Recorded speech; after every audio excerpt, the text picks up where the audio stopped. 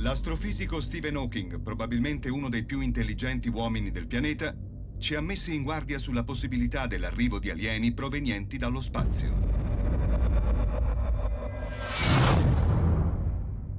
Hawking ha detto che se gli extraterrestri ci faranno visita, le conseguenze saranno simili a quelle dello sbarco di Colombo in America. Per dirla chiaramente, l'evento non fu molto positivo per i nativi americani.